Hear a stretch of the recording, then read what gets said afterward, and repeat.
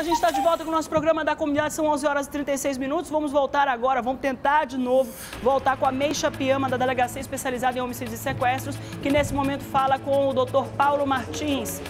Vai, Mei. Pois é, Márcia, nós continuamos aqui na Delegacia Especializada em Homicídios e Sequestros na Zona Leste de Manaus, onde já já vai ser apresentado o homem suspeito do duplo homicídio da Casey Rodrigues de Oliveira, de 15 anos, e do namorado dela, Wellington de Araújo, de 19 anos, que aconteceu no último dia 27 de junho. Vamos conversar agora com o delegado Paulo Martins, o titular aqui da Especializada. É um crime bárbaro que ocorreu, né, a Zona Leste.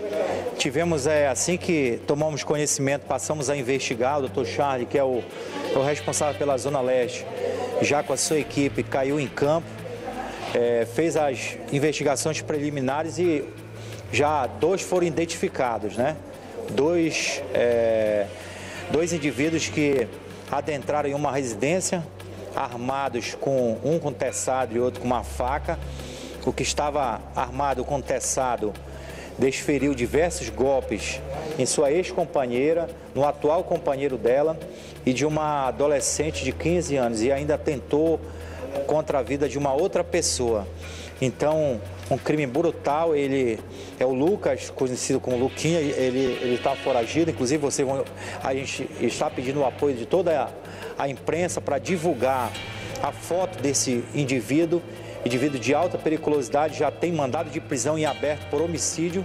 Em outra, em outra circunstância, esse indivíduo que foi preso também já estava com mandado de prisão em aberto. Então, é, assim que nós identificamos os dois, já representamos pela prisão deles também e agora um deles já foi preso e agora estamos pedindo o apoio da imprensa, por isso nós chamamos a vocês aqui na delegacia para nos ajudar, não só vocês, como toda a sociedade, para tentar localizar esse indivíduo bárbaro que cometeu esse crime brutal para que possamos logo, logo botar a mão nele e colocá-lo à disposição da justiça. Sim, ele, ele confirma que estava no local ajudando na execução do crime. Ele não, ele não assume é, que tenha sido a, o autor do, das, dos golpes que, que ceifaram a vida da, da, do rapaz e da moça. De qualquer forma, temos a participação dele, ele participou do crime e também vai responder por, pelo, por esse homicídio. Doutor Paulo, estamos ao vivo. A motivação do crime seria mesmo o, o, ele não aceitar o fim do relacionamento? É, exatamente. Foi por ciúmes, né? Doutor Charlie irá falar logo assim que eu terminar, o doutor Charlie irá falar e ele vai ter mais detalhes com relação à investigação. Mas o que nós apuramos é, exatamente na nossa investigação foi exatamente isso. Ele não aceitava o fim do relacionamento e com isso ele resolveu adentrar na residência da sua ex-companheira e cometer esse brutal crime. Obrigada, doutor, pelas informações. Vamos conversar agora com o doutor Charles Araújo, que participou das investigações. Doutor, como é que aconteceu essas investigações? Como o nosso titular falou, é, vocês vão lembrar que no dia 27, que foi quando ocorreu esse crime, nós estávamos aqui com vocês fazendo a coletiva e apresentando um preso a vocês. E foi noticiado para a gente essa, esse fato, né? O que nos deixou bastante estarrecidos. Assim que nós saímos daqui, da coletiva, nós já nos deslocamos ao local. A equipe do nosso plantão já esteve, já tinha estado na casa e nós nos deparamos com uma cena de terror. Era literalmente uma cena de terror. E passamos já naquele momento a buscar informações sobre eles. Né? Sabíamos que eram duas pessoas, dois homens, tinham adentrado no local e atacado as vítimas ferozmente. Passamos o dia todo naquele, naquele dia 27 e já naquele dia identificamos os dois e conseguimos traçar toda a linha do crime, toda, naquele mesmo dia.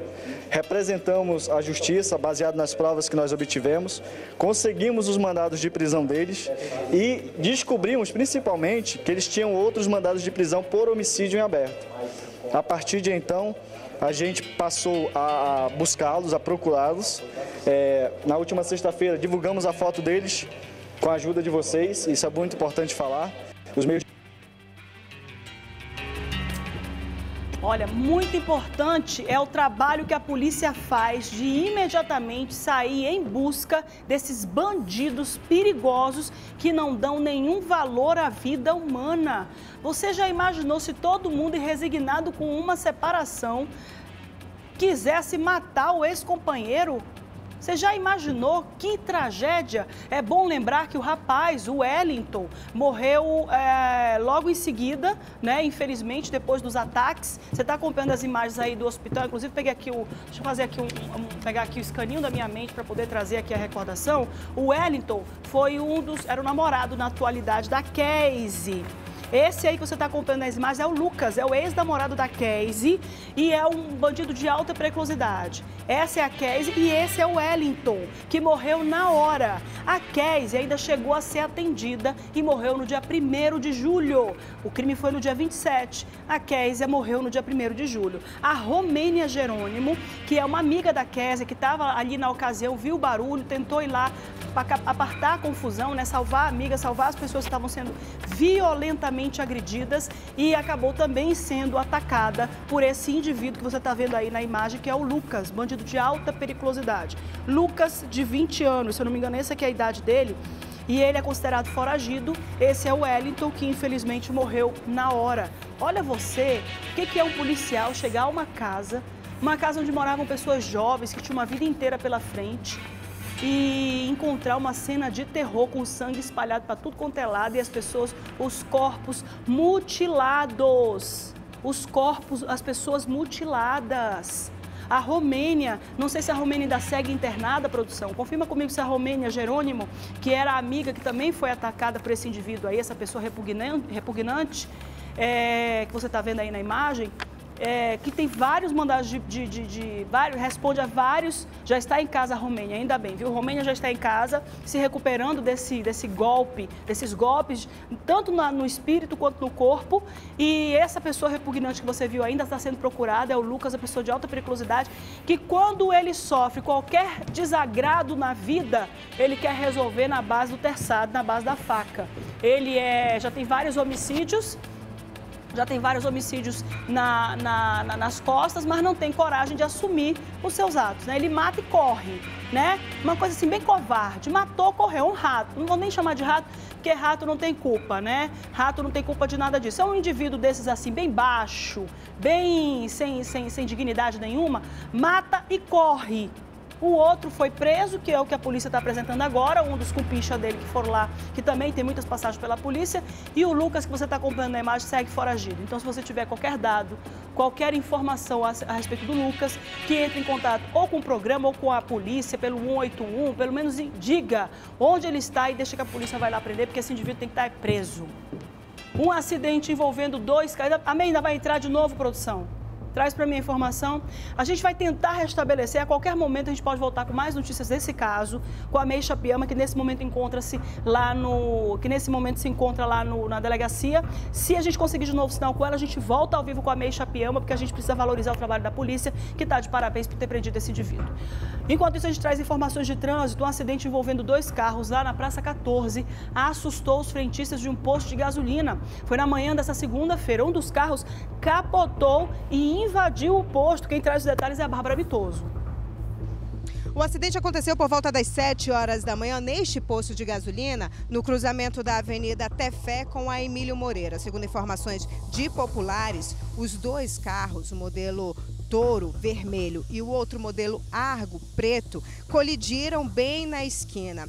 O modelo Argo ele estaria na Avenida Emílio Moreira, quando o modelo Toro, o carro vermelho, invadiu o sinal e acabou acontecendo aí essa colisão. Segundo informações de testemunha, o baque foi tão forte que o modelo vermelho, o modelo Toro, ele simplesmente deu uma pirueta no ar, capotando, né? E aí acabando nesse estado que você acaba de ver agora. Segundo informações, no carro Toro tinha apenas uma pessoa, um homem ainda não identificado, e no modelo é, Argo, nesse carro preto, tinham três pessoas, uma família. Agentes de trânsito estiveram no local para poder conter o fluxo, para o trânsito poder fluir, na verdade, e também a perícia vai investigar a causa do acidente, a real causa do acidente. Volto com você no estúdio. Obrigada, Bárbara Mitoso, que traz as informações de trânsito. Deve ter sido um terror mesmo, o pessoal deve ter se assustado feio. E olha, esse acidente em posto de combustível é o que a gente mais tem medo, né? Porque pode atingir uma das bombas e explodir tudo. Será que eu estou falando besteira? Pode explodir, não pode? Ora, se não pode. Né? Tomara que não poder pode, tomara que não exploda. Olha, vamos trazer informações lá da colônia Antônio Aleixo, que a Meixa Piama é, foi lá conferir um outro homicídio que aconteceu, vai trazer os detalhes pra gente. Foi na colônia Antônio Aleixo. MEI está ao vivo de novo lá pela delegacia. O homem que está acusado de ter mandado, de ter matado, participado da morte dos jovens, está sendo apresentado nesse momento. Libera o áudio. Pois é, Márcia, nós continuamos aqui na Delegacia Especializada em Homicídios e Sequestros, onde foi apresentado Josimar Fernandes, de 39 anos. Ele é suspeito de ter participado, Márcia, do duplo homicídio da Keise Rodrigues de Oliveira, de 15 anos, e do namorado dela, Wellington Araújo, de 19, no último dia 27 de junho deste ano. Nós, inclusive, cobrimos esse caso, um caso que repercutiu bastante. A Casey morreu dias depois, porque ela levou várias peçadadas na cabeça. O Josimar, ele participou junto com o Lucas de Oliveira, que era o namorado da Casey, que não aceitava o fim do relacionamento.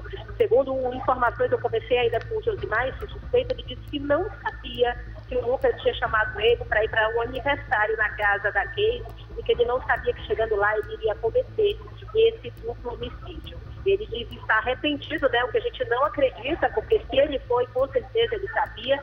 E o Lucas continua foragido. A polícia pede a colaboração de toda a população para caso seja o Lucas que denuncia a polícia, ligue para 181. O Josimar daqui, ele vai descer para a penitenciária, vai pagar pelo seu crime, porque no dia do crime ele ajudou o Lucas da Costa Figueiredo, de 19 anos, a assassinar a Keise Rodrigues, de 15 anos, e o namorado dela, o Wellington Araújo.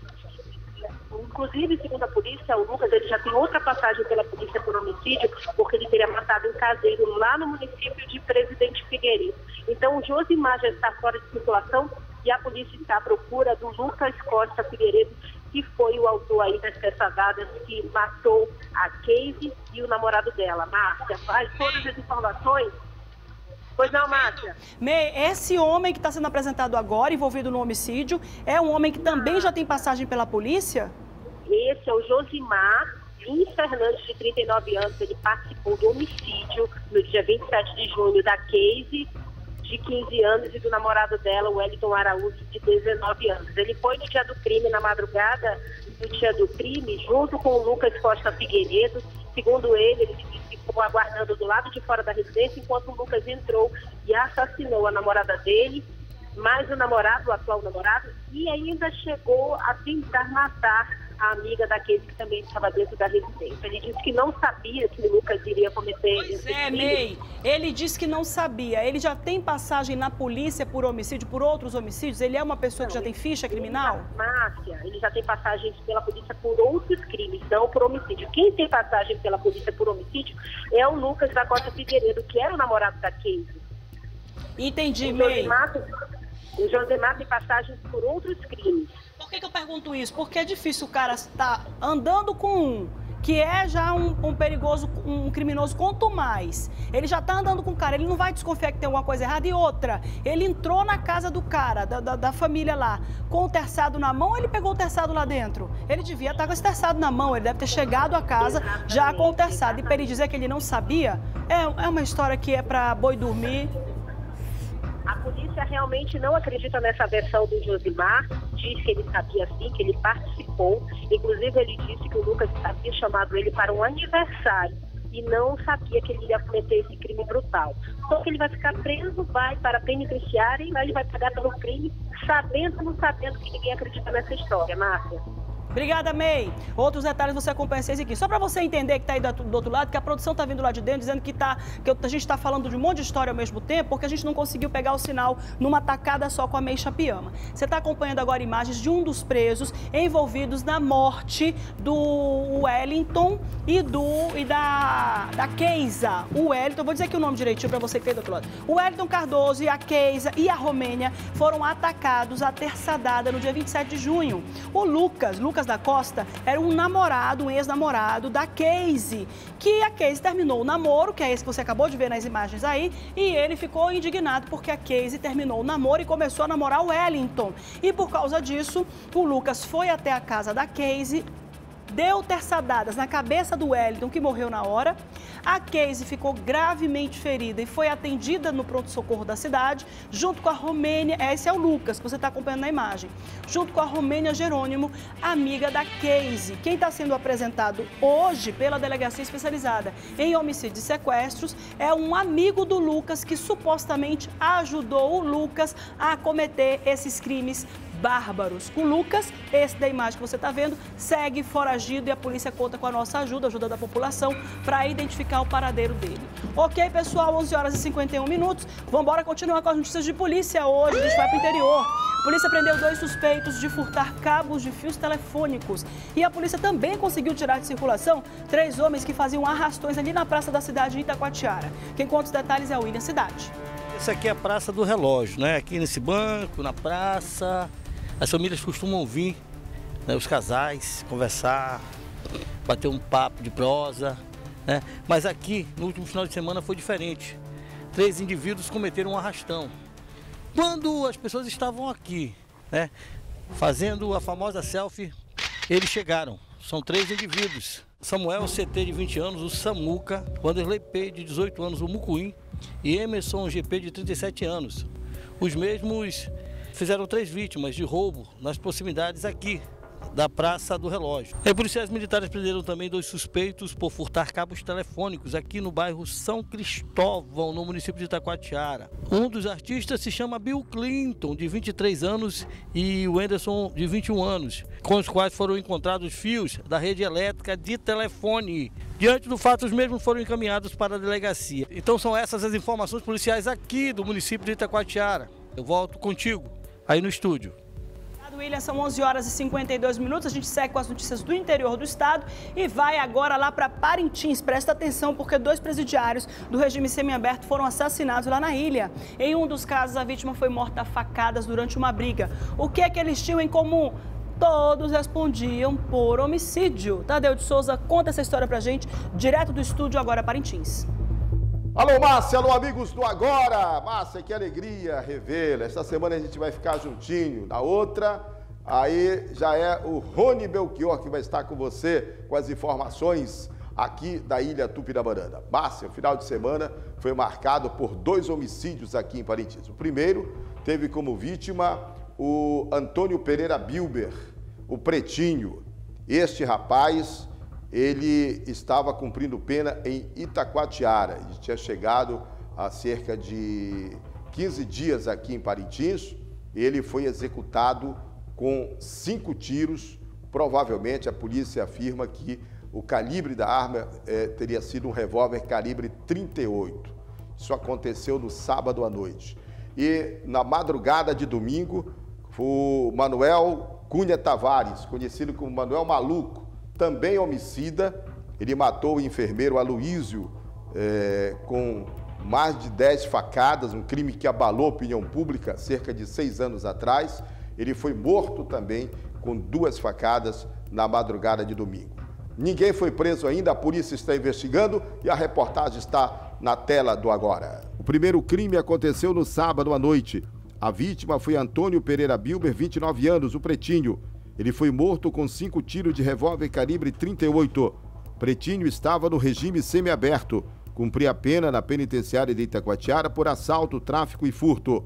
Ele foi transferido para Itacoatiara depois de participar da rebelião de 2014 no presídio de Parintins. Pretinho confessou ter decapitado um dos presos. O segundo crime aconteceu na madrugada de domingo. A vítima foi Manuel Cunha Tavares, 30 anos. Manuel também estava no semiaberto. Ele cumpria a pena pela morte do enfermeiro Aloísio Silva, homossexual conhecido como Ingrid. O crime aconteceu há cerca de seis anos.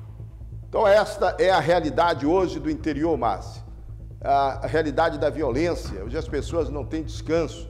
Você vê ah, dois homicídios, fora os outros casos menores, fora assaltos que não chegam na delegacia, que não são registrados, assaltos relâmpagos que acontecem na cidade de Parintins, é, é, é, é, violência na zona rural do município, enfim, uma situação realmente que preocupa a todos nós. Volto com você aí no estúdio, Márcia.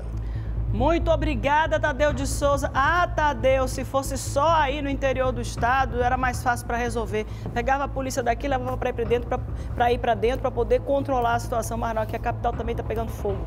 Em Manacapuru, moradores que saíram de casa por causa do Prosamin já esperam pela casa nova há 11 anos e até agora nada. Quem traz os detalhes é o Sósteres Júnior. No dia 4 de julho de 2008, 96 famílias foram retiradas das casas delas, que ficavam nas ruas 16 de julho e Tamandaré, acreditando na promessa eleitoral chamada de Prosamin. Elas acreditaram que no lugar das casas úmidas de madeiras seriam construídas casas dignas de alvenaria. 11 anos se passaram, cinco gestões depois e nada foi construído. Elizabeth Pereira retrata o sofrimento. Eu só tristeza, né, meu filho? Porque até hoje eu tô aqui também, ó. E eu não recebo benefício de ninguém, não recebo benefício de prefeitura de ninguém. Eu moro de favor. Porque tiraram a casa que eu morava e hoje eu tô aqui, ó. Jogada aqui numa casa, me mudando de casa em casa. Já mudei alugado em apartamento na Tariba. Agora eu estou aqui na casa da minha prima que ela deu para mim morar. Para tentar amenizar o problema, as famílias foram cadastradas no programa Aluguel Social da Prefeitura, mas o benefício atrasa e os problemas só aumentam. A gente vai para a prefeitura, eles falam assim: tá hora vai sair o dinheiro, tá hora cai na conta. E nada, o dono da casa não espera, eles pedem a casa, a gente dá no mesmo boa, o dono da casa chega, desocupe a casa que o dinheiro está atrasado.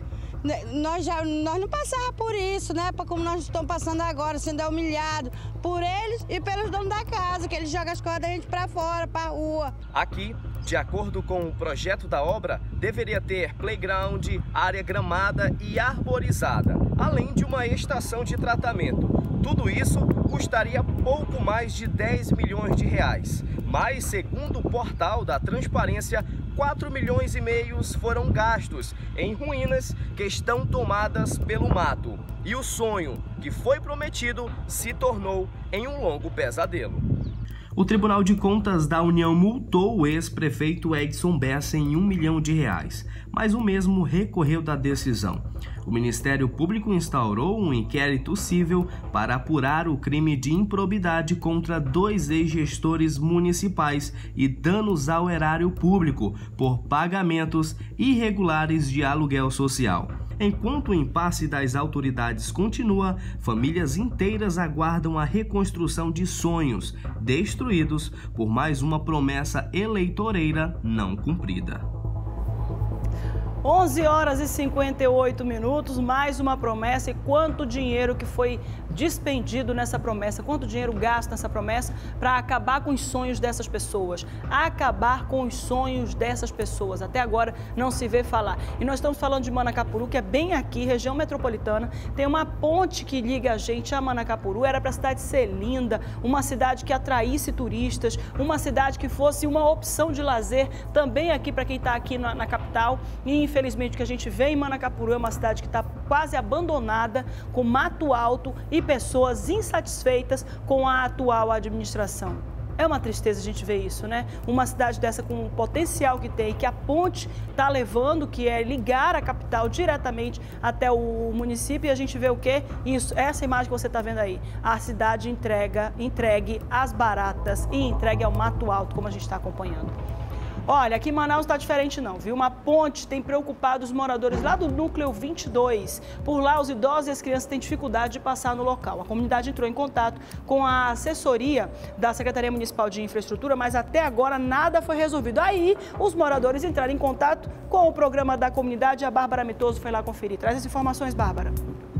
É isso mesmo. Olha só, essa ponte, ela liga um núcleo a outro, núcleo 24 ao núcleo 22. É, é uma, um principal acesso aqui para a comunidade. E olha só como está a situação. Ah, por ela ser toda de madeira, né, a estrutura e a, a parte aqui aonde a gente pisa, quando chove, fica liso. E não só isso, a estrutura ela já está velha, então ela fica balançando. E olha, não tem mais uma parte do corrimão. Então Então, crianças passam aqui constantemente, idosos passam aqui constantemente e realmente é muito perigoso para eles passarem, porque eles podem cair. De repente, é, a idosa aí perde o equilíbrio, como é escorregadio aqui, eu estou andando bem devagarzinho justamente por isso, porque realmente é muito escorregadio e a gente não tem aonde se segurar para poder se manter aí com o equilíbrio nessa ponte. E os moradores já foram, já pediram aí do poder público uma solução.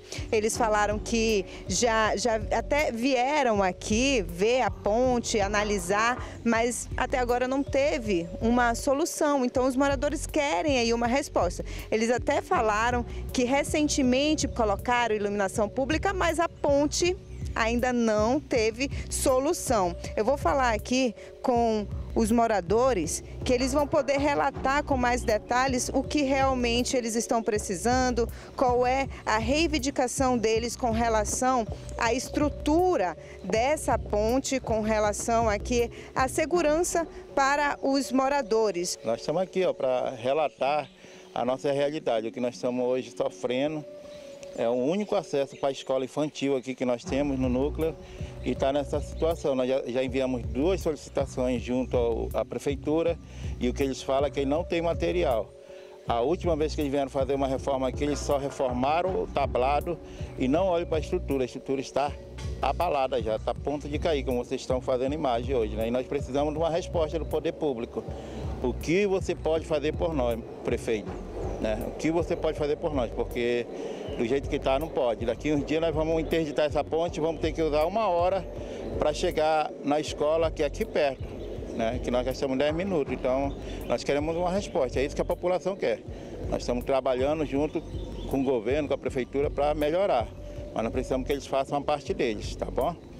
A dona Graça, ela é idosa, ela passa aqui constantemente. Ela estava me relatando que ela quase cai um dia, inclusive, porque não tem o corrimão, né? É. Como não tem o corrimão, é, a gente vai passando, a ponte balança e quem é idoso aí acha que vai cair, dá até a tontura. E nós estamos pedindo o apoio de vocês para vocês pedirem. É, lá com o prefeito, porque nós já pedimos, já metemos requerimento, mas não vem, está acabando, não tem mais como passar pela ponte. Por favor, prefeito, olhe por nós. Então, olha só, essas são as reivindicações aí dos moradores aqui do núcleo 22 e 24 do bairro Cidade Nova, na zona norte da capital. E se você que está em casa vendo essa reportagem também precisa que a gente é, vá até a sua comunidade, é só ligar para o número que aparece na sua tela. Volto com você no estúdio. Obrigada, Bárbara Mitoso. Eu vim de amarelo em homenagem a você. Quero deixar aqui claro. Mentira, não foi por isso. Mas a Bárbara está ali debaixo de chuva para poder trazer as notícias para a gente e principalmente levar a voz da comunidade até vocês que são autoridades. Para que a autoridade seja obrigada a ouvir a reclamação dos moradores que mais uma vez trazem denúncia de ponte. É característico da nossa região. Nós temos uma cidade, um, uma capital em entrecortada por igarapés. É inevitável que as pontes façam parte da paisagem e deviam ser pontes mais bonitas, deviam ser pontes que atraíssem a curiosidade, porque afinal de contas não são todos os estados do Brasil que são entrecortados por pontes. A gente está vendo aí mais uma vez a reclamação da, da comunidade por uma ponte que está em vias de cair e trazer prejuízo para todo mundo. Tomara que não caia com ninguém nela, porque aí o prejuízo vai ser pior. Um levantamento do Tribunal de Contas do Amazonas apontou que 80 obras públicas que estão paradas no estado deram um prejuízo de milhões de reais. Vamos acompanhar na reportagem de Gabriela Moreno. Falta de recursos e problemas burocráticos são os principais motivos para a interrupção das obras. O TCE avaliou iniciativas do governo do estado e das prefeituras dos 62 municípios em valores atualizados. Foram gastos com essas obras 836 milhões e pode ser mais. O formulário foi feito via online. Então a gente tem problemas de internet no interior. Ficaram alguns jurisdicionados sem entregar mas nós estamos fazendo agora no interior inspeções e isso vai ser levantado em loco do restante de obras que está faltando. A maior parte das obras paradas são de mobilidade urbana. como a estrada entre os municípios Codajás e Anori, uma obra de 82 milhões de reais, sendo que 63 já foram pagos. Uma das obras é a cidade universitária em Iranduba, um orçamento de quase 90 milhões de reais. E desse valor foram pagos 17 milhões. O trabalho foi abandonado e não há previsão para a retomada. O cenário é de ruínas. A cidade universitária da UEA começou a ser construída em 2012. Estão interrompidas desde 2014. Só o governo do estado investiu 363 milhões em obras paralisadas como essa. Para retomar as obras, o TCE precisa analisar cada caso. Com este levantamento, o trabalho da corte deve entrar na segunda fase. Cada tribunal é, fazer o, com esse mapeamento verificar quais são as ações mitigadoras que os municípios e o estado estão adotando para sanear esse problema. Foram notificados os gestores, prefeito e governo de estado. Eles apresentaram, as, vão, estão aguardando a apresentação das documentações. Depois disso aí, nós vamos fazer um planejamento estratégico para sanear todos esses problemas aí. Enquanto a burocracia e a falta de dinheiro emperra os trabalhos, nas cidades o cidadão sofre sem a devida infraestrutura. Recorrimos ao prefeito de Iranduba, né, para fazer alguma coisa por nós aqui, mas até agora não, não fizeram nada. É uma tristeza mesmo, né? Quanto progresso que poderia ser levado para o interior do estado. Foi por isso que a ponte foi feita. E eu hoje estou falando de ponte demais, né? Porque a gente tem a ponte sobre o Rio Negro e tem as disparidades que a gente encontra aqui no nosso programa da comunidade, que é uma ponte na grandiosidade, na referência que nós temos, que é a ponte sobre o Rio Negro, e pontes como a que a gente acabou de trazer, toda quebrada e destruída no meio de tudo isso, no meio desse verde todo que a gente tem. E infelizmente a ponte sobre o Rio Negro, que era para levar prosperidade, facilidade para o interior, ainda não mostrou mostrou a que veio má vontade dos prefeitos. Eu vou dizer, má vontade do prefeito, que o prefeito já podia ter trazido muito mais progresso ah, para o interior do estado, brigado muito mais para poder construir, terminar essas obras, como por exemplo a cidade universitária, que olha o tempo que está ali.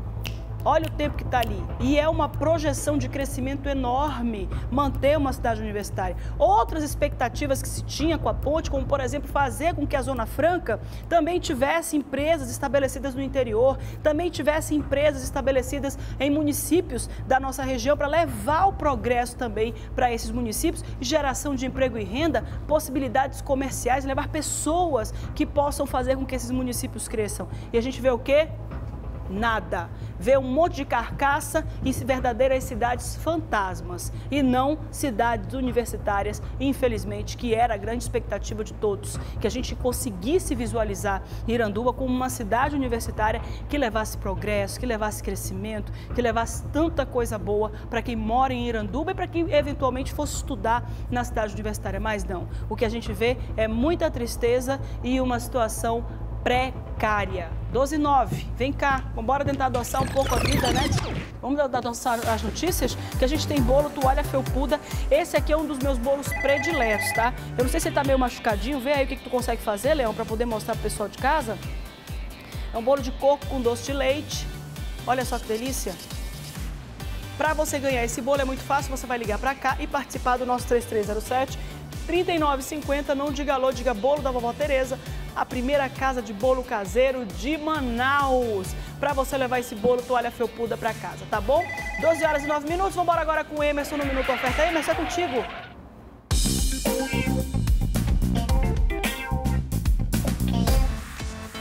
Vamos falar de economia, vamos falar de muito preço baixo aqui na drogaria mais barata do Brasil, na farmácia ultra popular, onde você vai encontrar perfumarias, medicamentos. Atenção, muita atenção, porque tem muitas ofertas e promoções para você. Eu estou aqui na loja da Torquato Tapajós. Olha o tamanho da loja, onde você vai encontrar suplementos, fraldas e muita coisa bacana. Na realidade, não é promoção, é preço baixo. Eduardo, bom dia, o verdadeiro rasga-preço. Bom dia, bom dia Manaus. Realmente, aqui não tem promoção, aqui é preço baixo e é permanente o preço baixo. Você que está com a tua receita aí, ó, fazer um orçamento do que tem no receituário do que o médico prescreveu, você fica pensando, nossa, tá muito caro. Mas vem na Ultra que você vai mudar esse conceito, porque aqui tudo é barato. Tudo, tudo, dermocosméticos, suplementos. Trabalhamos também com quem faz uso de medicação contínua, tipo antibiótico, controlado. Temos preços excelentes. Reforçando, antibióticos, controlado. Vem fazer teu orçamento conosco. Agora vamos aos preços baixos, Emerson? Vamos para um verdadeiro rasgar preço na sua ó. Quem tá nervosinho aí, ó.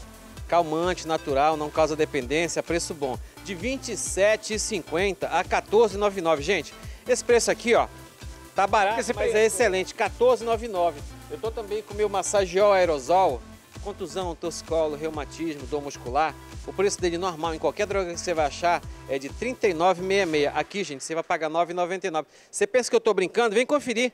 R$ 39,99. Tem, tem, tem limite de quantidade? Tem limite, você compra o quanto quiser. R$ 9,99 massageol aerosol. Meu remedinho é esse aqui, ó, para quem tá até a tampa, precisando de remedinho para verme. Aqui, ó, vem conferir, é o Milab. Tem até gente comprando. Alô, Pedro! Equipe comprando, ó, de R$ 9,29 a R$ 3,99. Só vai ficar até a tampa quem quiser. Minha vitamina C, ó, minha vitamina C efervescente de 1 grama, não tem limite de compra. Lembrando, não tem limite de compra. De R$ 24,30 a R$ 4,99, vitamina C. R$ 4,99. Por fim, Maxalgina Gotas, que é de pirona, de 20 ml, de 10 e 17. Gente, qualquer lugar que você for, o melhor que você vai achar é 7 reais. O meu ainda tá o melhor do melhor, 1,99. Gente, é ultra popular, gente, é ultra popular. Não esquece, é ultra popular. Estamos com uma loja na Torcota Tapajós, bem ao lado do Vitória, e na Djalma, no sentido centro-bairro, que é a nossa loja 24 horas. Atenção, Zona Norte e Leste, estamos chegando, hein? Fuxique, principal do Manaus, estamos chegando aí para arrebentar, hein? Com preço baixo, hein? É com você. Isso aí, compre, compre, compre, compre, compre, no melhor lugar da drogaria mais barata do Brasil. Olha o tamanho dessa loja, mostra aí, olha aí, ó, olha só o tamanho dessa loja, onde você vai encontrar tudo. Eu falei tudo que você precisa em medicamentos e perfumaria na melhor, viu? Volto contigo, Márcia. Obrigada, Emerson. Quero mandar um beijo pro Marcelo aí da Ultra Popular. Um grande beijo. Vamos pro intervalo. Um beijo também pro Diogo lá do Morada Café. O Diogo do Morada Café tá assistindo o programa agora. Diogo, um grande beijo para você. Wilson Dantas, do Conjunto Vila Barra, um grande beijo. E o Maicon Barradas também está acompanhando o programa. Todo mundo ligado com a gente pelo nosso, pelas nossas redes sociais. Um grande beijo para a Anne lá do Morada Café. Lembrando que o Morada Café agora tem uma unidade nova lá no Parque 10, hein? Vai todo mundo lá. 12 e 13. Vamos pro intervalo, daqui a pouco a gente volta.